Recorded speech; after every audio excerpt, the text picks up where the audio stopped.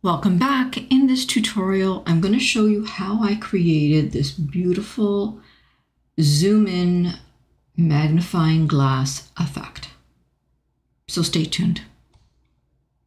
I'm starting off with um, my workspace. This workspace is 1280 by 720 pixels. And I'm going to go into elements and I'm going to place a photo on my desktop of a bride and groom. So I want to place this image as my background, but if I do that, that is going to cut off the bottom and top because as I resize it, I'm going to lose that bottom part of the beach. So what I'm going to do is I'm actually going to use Magic Expand to give me a little bit more space here on this side. So I've got my image clicked. I'm going to go into Edit Image. I'm just going to come here to the side where it has Magic Expand. I'm going to select Freeform and I'm going to drag this over because I want to fill in this space magically, I guess. So I'm going to scroll down, I'll say Magic Expand, and it's going to come up with four different examples for me to choose from, and I'll choose one of them.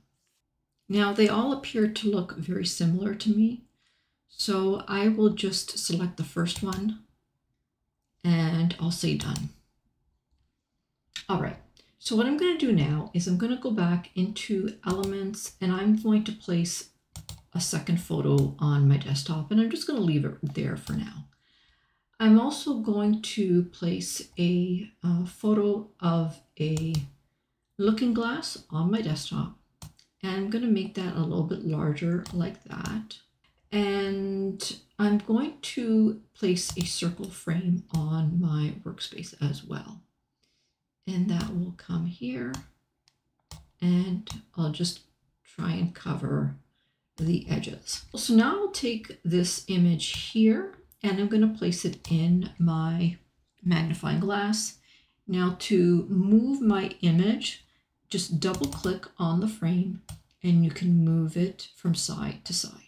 So I'll, I've moved it to the side. I'm going to leave it like that.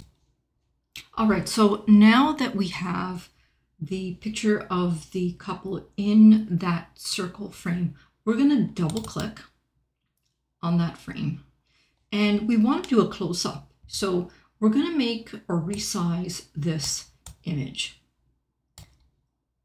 And you can customize this to your liking, but I'm going to try and get the uh, faces up close as much as possible. So um, I'll just leave it like that. All right, so now I'm going to add a glass shadow effect on top. So I'll go to elements and I'm going to place this element on top. Now, a tip is to, when you're working with frames and you're placing elements on top of frames, handle them by the corner so that they don't slip inside the frame. Okay, so I'm now just going to make this a little bit larger, like this. And now I'm going to take the background image and I'm going to blur it. So I'll come in here, I'm going to go to blur and I'm going to blur the whole image and I'm going to toggle the intensity just a little bit. I want to be able to see what the image is but just blur it a little bit. So I think I'll leave it like that. And I'll close that. And now I'm going to take that image and I'm also going to toggle the transparency, making it less opaque. So I'll just bring that down a little bit like that. And um, I think I'm pretty happy with that right now. Now I'm going to add um, some decorative elements on the bottom. I'm going to add a ribbon and I'm going to place this ribbon in here. I'm going to make that a little bit smaller and I'm going to create an in and out effect. So I'm just going, I want for the that part to go underneath. Okay, and now I'm going to just make a duplicate of that and I'll place it right on top. And I'm going to go to position and layers and let me just close that so we get a bigger screen. Uh, so I'll go to position and layers and I'm going to take that, this bottom ribbon and just put it underneath that magnifying glass like that.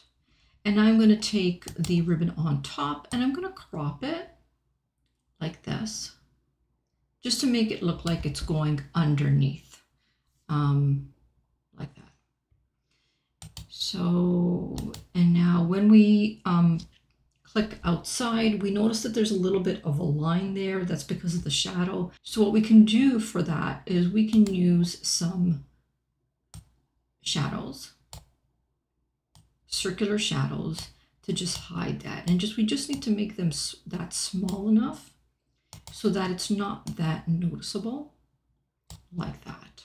And finally, we can place some writing on the side that says just married and the date like this.